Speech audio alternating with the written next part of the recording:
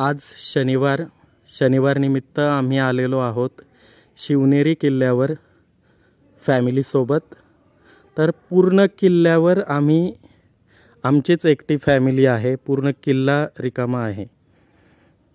हां. तर खूप छान आहे या किल्ल्यावर आणि गर्दी नसल्यामुळे पाहण्यामध्ये जी मजा आहे ती काही आवरच आहे. तर ही जी बिल्डिंग दिसते ही दोन मजली बिल्डिंग आहे. इमारत यामध्ये शिवाजी महाराजांचा जन्म झाला होता. आपण आत जाऊन त्यांचा पाळणा पाहूया.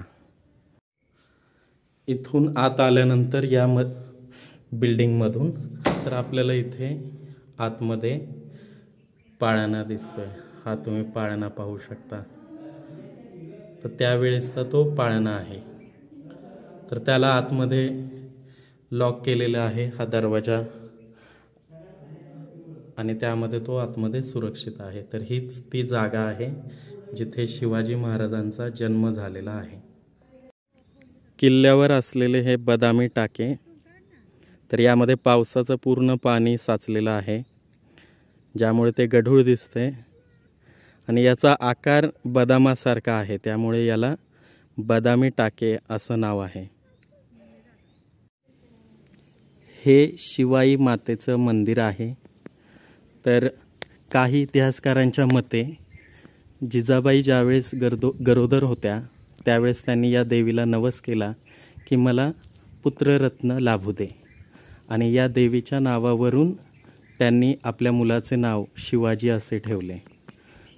तर या मंदिरामध्ये फोटो काढण्यास मनाई आहे त्यामुळे बाहेरचा व्हिडिओ काढला आहे. तर हा फोटो सर्वांना आठवत असेल की आपल्याला इयत्ता चौथीचं जे इतिहासाचं पुस्तक होतं त्याच्या पृष्ठभागावर याचा फोटो होता. तर हा इथे तो फोटो चितारलेला आहे. हा महादरवाजा जिथून शिवनेरी किल्ला सुरू होतो. तर याचं पूर्ण दगडी बांधकाम आहे. दरवाजाच्या भोवती हे जे लाकूड वापरलेलं आहे ते पूर्ण सागाचं लाकूड आहे आणि तुम्हाला दिसत असेल की याच्या भोवती जे अणकुचीदार किंवा टोकदार जे खिळे लावलेले आहेत मोठे मोठे ते का लावलेले असत? की या किल्ल्यावर दुसऱ्या एखाद्या राजाचा शत्रू म्हणजे शत्रू हत्ती घेऊन यायचा आणि या हत्तीने धडक मारली दरवाजांना की असे दरवाजे तुटण्यास मदत होत असे.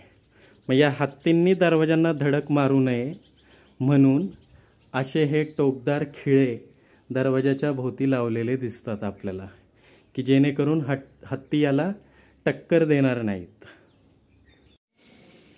तर हे लेण्याद्री आहे. शिवनेरीपासून अंदाजे पाच ते सात किलोमीटरवर लेण्याद्री आहे आणि हा बौद्ध चैत्यगृह आहे. तर हा समोर स्तूप दिसत असेल.